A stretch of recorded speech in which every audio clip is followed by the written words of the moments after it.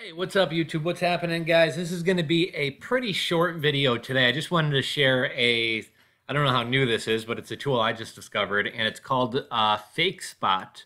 And let's see, the website is fakespot.com. So basically you can type in either Yelp reviews or Amazon reviews and it will basically analyze them and tell you, um, I guess, are they legitimate reviews or are they like paid for a bot review? So if we go over to Amazon, and I think watermelon slicer uh, is something that I imagine a lot of people bought fake reviews for. So um, which one should we pick? Uh, we'll pick this one only because, yeah, we'll pick this one, 168 reviews.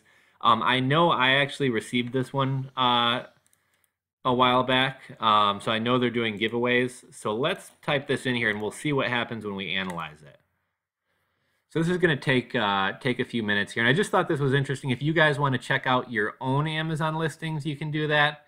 Um, oh, it didn't even take that long. It's an F. Uh, 70% of these reviews are low quality. So how do they rate these reviews? I, I think it's maybe like uh, how established the reviewers are. I imagine they're looking for keywords like disclaimer, I received this product for free in return for my review.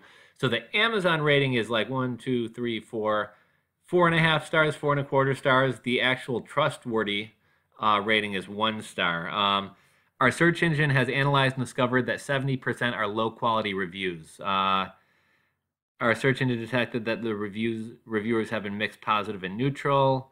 Um, our engine has detected product exchange for reviews. We believe the reviews are harmful for real consumers because of the inherent bias. Uh, our engine has profiled the reviewer patterns and determined that they may be deception involved. So I imagine if you're a reviewer and you do a lot of free product reviews, they're going to kind of flag you as not being a, a good reviewer. Um, our search engine has determined that the review content quality is low. Reviewer profiles have low verified review count. So you can't really, you know, some of these things you can't really control. Like when somebody buys your product and leaves a review, you can't control how many reviews they've left. You can't control how long their review is. But I think what this is picking up on heavily is uh, okay. So here we have inauthentic review.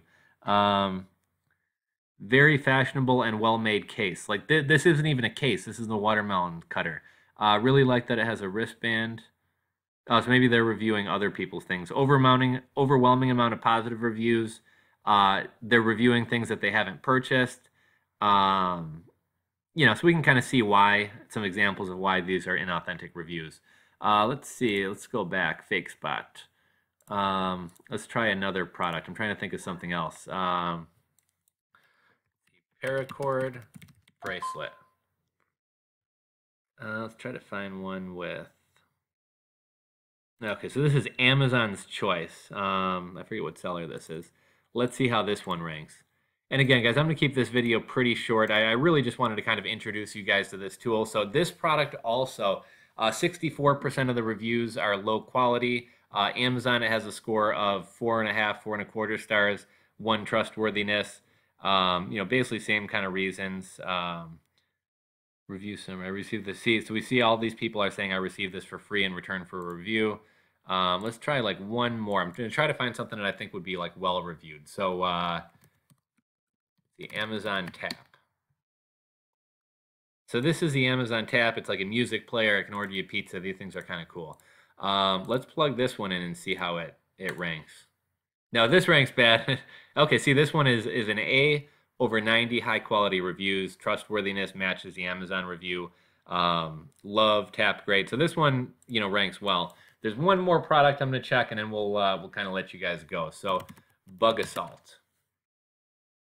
This is a pretty cool product. I actually have one of these. I did not even get it free. I paid like $54 for it. It's kind of stupid. I, it's a lot of money for a little uh, plastic gun, but let's see here. Okay, and this one again, A. So it just kind of goes to show if you have a quality product, you're going to get legitimate reviews. If you have a product that needs to kind of be boosted, um, you know, some people are going to use this fake spot site and may or may not buy your product because of this, but um, you know, use this for your own stuff. If you're thinking about buying an item and you want to know how truthful the reviews are, you know, run it through FakeSpot. So again, this website is fakespot.com. Um, like I said, I'm going to keep this video fairly short today. I just wanted to show you guys this site. Um, in the wake of the whole no more free products in exchange for reviews, things going on. Uh, I, I, learned about this tool and I, I, thought it might be a valuable tool for you guys to check your own product listings um, as well as uh, check out products you're potentially thinking about buying. And how you're going to get A quality scores here is by driving organic sales and not by giving away free products for, in exchange for reviews. So don't get me wrong, you know, giving away free products is a great way to get give your product kind of a jump start. It jump starts your sales rank. Um, it's going to get you more reviews and it's going to build some kind of uh, social authenticity, so to speak. Uh, but keep in mind, if anybody checks these sites, you're going to get a low review. So, you know, try to have more organic sales than you do paid reviews. Uh, so hopefully you guys enjoyed this uh, this video. Hopefully you find this tool valuable. If so, please give this video a thumbs up. If you're not subscribed to my channel, please click that subscribe button below. Uh, thanks for watching, guys, and uh, stay tuned. I think I'm going to be dropping a video in the next day or two uh, with some emails I've gotten from some other review sites with some clarification on the new policies and things like that. Um, and we got some other good stuff coming out too. So stay tuned. We'll talk to you guys soon, and uh, have a great night.